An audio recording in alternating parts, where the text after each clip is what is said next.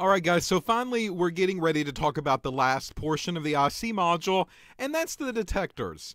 Eh, good news for you, eh, there's not too much information in this section, so we are almost finished. I, literally, you're probably looking at one or two videos on detectors, and that's about it.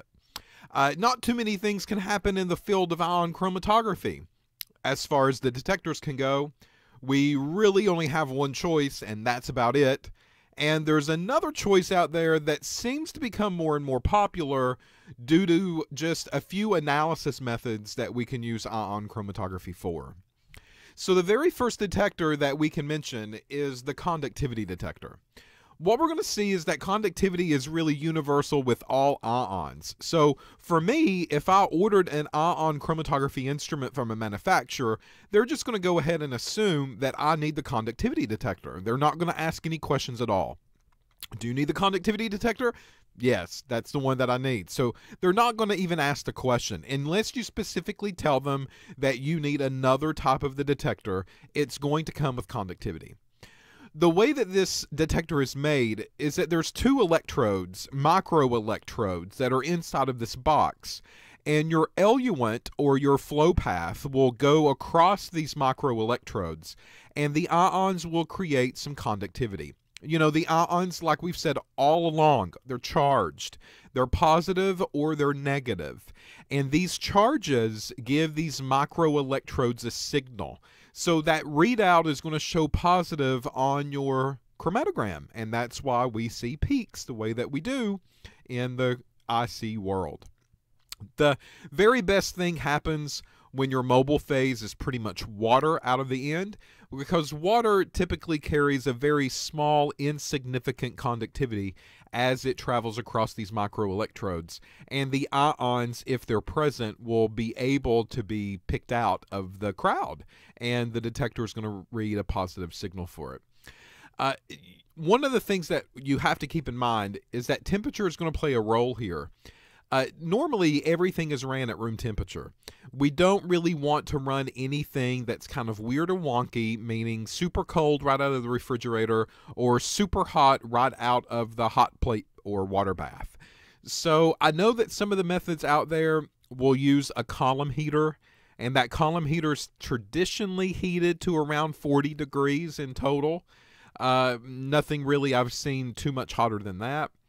But you got to keep that in mind a one degree temperature change, you see that on the very bottom of your screen, is going to be a 5% difference in conductivity. So the temperature is very important when it concerns the conductivity readout. So everything pretty much has to be ran at room temperature, not too hot, not too cold. It's the Goldilocks temperature here for ion chromatography. The next slide that you're going to see uh, is a couple of uh, ions, and these ions could be the anion or the cation side of the house. And what you're seeing is the traditional uh, Siemens centimeter square per mole of ion that's coming around. Uh, so molar ion conductivity is basically what this is. Uh, and as you can see, the fluoride, chloride, nitrate, sulfate, phosphate, chlorite, chlorate, carbonate or bicarbonate, and carbonate up on the top half of your screen, uh, those are traditionally pretty low when it concerns moles or molarity. So we're looking at, you know, 70s and 70s and 52s and 60s and 40s. There's a few on there that are pretty high. Uh, and that's okay, but we're looking at 40s and 50s per mole that's going to be present. Lithium, sodium, potassium, ammonium, magnesium, calcium, and zinc. Notice how they spelt zinc. I think that's kind of funny. Uh, but those are the cation side of the house. And if you look down below, lithium's going to be pretty tiny. Uh, but sodium, potassium, ammonium, magnesium, all of those uh, are a little bit higher off than the anion side of the house. What does this mean to you? Well, that means that if I ran lithium, sodium, potassium, and ammonium together, then lithium is probably going to be a very tiny peak. You know, if it's going to be there, it's going to be there. And then I can make standards, and those standards are basically going to give me a signal and a calibration curve. But overall, that lithium is going to be a little bit smaller in height than the other cations that I might be running. The same thing is going to happen up at the very top end of the anion side of the house, right? You look at chlorite, and chlorite is 52. Or you look at bicarb, and that's 44, which is one of the reasons that we like to use it, right? It carries very little conductivity. But if I look at chlorite, chlorite is probably going to give me a very tiny peak height. It's going to be there. I'm going to see it, but it's not going to be as large as the others. And that's where this difference is coming in. So if you're making a multi-mix standard and you're running that standard and chloride is through the roof, right? Super, super high. And then the next ones that are right beside of it at the same concentration is much lower. Well, that's the reason. The reason is how much conductivity they are carrying per concentration. So chloride could be through the roof, and the nitrate, well, if you made it at the same amount, then these ppm amounts, then the peak height should be about the same. But if you looked at sulfate, sulfate's going to be a pretty large peak it's either going to be very tall or it's going to be very fat and very wide. So those are one of the things that you got to look for. This is what's going to describe the reason that different peak heights are associated with the same concentration of different ions. So again, I can run fluoride and chloride and I can make fluoride at a 50 ppm. I make a chloride at a 50 ppm and those peaks are not going to be the same height. And the reason is because fluoride carries with it a lower conductivity than chloride does. So chloride's going to be a little bit taller or a little bit fatter compared to the fluoride peak, and that's why that happens. The same on the cation side of the house, all right? Uh, the reason I say this video series is going to be kind of short with the detectors is because here's your detector. And actually, there's no troubleshooting that you can do with this. Uh, the conductivity detector is meant as it's meant. Uh, this is the way that it comes. Uh, you can see the hookup in the very back end of the box. That just basically gets hooked up to your instrument or to your software. And then the tubing that you see on the front side of the conductivity, that is your mobile phase entrance. So your mobile phase is going to go into the detector through that piece of tubing. Uh, there's no maintenance here that you can do. Uh, they actually make it to be maintenance free, believe it or not. And when your detector goes out, then that pretty much means that you basically need a new detector. So you might as well just fork out the thousands of dollars that this detector is going to cost you because that's going to have to be replaced. There's nothing that you can do to clean it out. There's nothing that you can do to make it work. When it goes out, it is out, folks. That's all there is to it. So, troubleshooting here is very easy. You don't do it. But troubleshooting here is going to be expensive because you're going to have to replace it if, in fact, there is something wrong with the detector unit. Uh, here's a picture of a lady using an ion chromatography instrument. If you can uh, notice, this instrument's a little bit bigger than ours in the lab. Uh, and up at the very top, you can see the place for the conductivity detector uh, or the detector unit. It might be conductivity, it might be something else, but that's where it's going to be located. Uh, it's very easily accessible because a lot of times you have to disconnect the tubing and maybe put new tubing on, uh, but you should not be doing any maintenance work at all to the detector itself. Uh, so it is meant to be front up, front and center. It's meant to put your hands on it but never open the case, never take a screwdriver to it, never try to clean it out because it's not going to work, and you're probably going to do more damage than you actually do uh, anything positive to it. All right. So that's what we need to say about the conductivity detector, right? It works out of two electrodes. It constantly measures the conductivity coming across. We now know that different ions, and this is just a very short table of them, will carry with them different conductivity values. And as those ions are coming across, those conductivity values are getting analyzed and getting read, and you see that in form of a peak that shows up on your computer screen.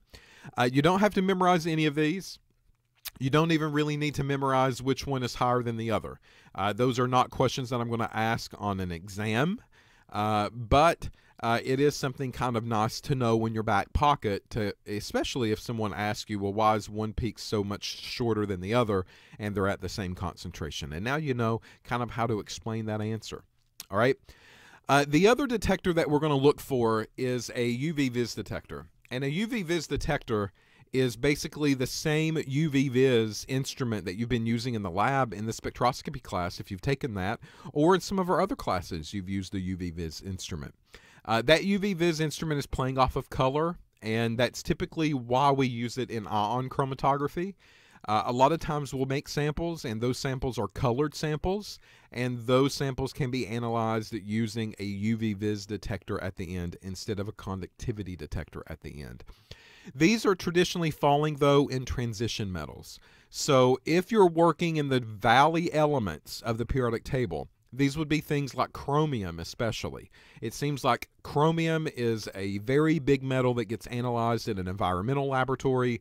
Chromium can be analyzed using ion chromatography, but the problem is that you have to have a colored solution, an indicator, to make chromium show up a little bit better. Uh, that requires a UV vis detector. So there could be a standalone IC instrument in the laboratory, and maybe that's all that instrument's going to be used for. It is a UV vis detector instead of a conductivity detector. So we can analyze these transition metals. Chromium is not the only one, but it typically is the most common one that's out there.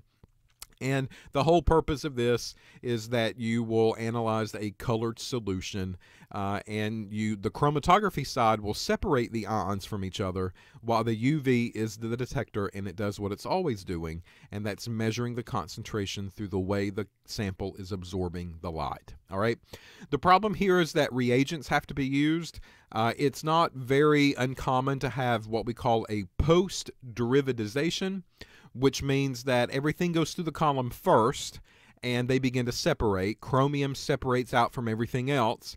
And then at the tail end of the column, before it goes into the detector, it goes through a reaction chamber or it goes through an addition of a reagent. And that is what makes it colored, and that then goes into the detector.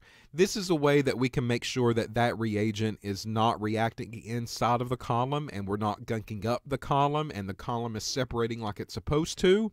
So we add it at the end before it goes into the detector to keep everything on the front side a little bit cleaner.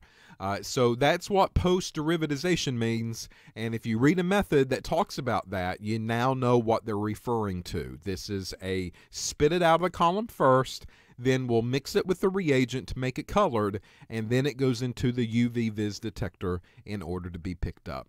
Those are really the only two detectors that we have with ion chromatography, the UV vis and the uh, conductivity.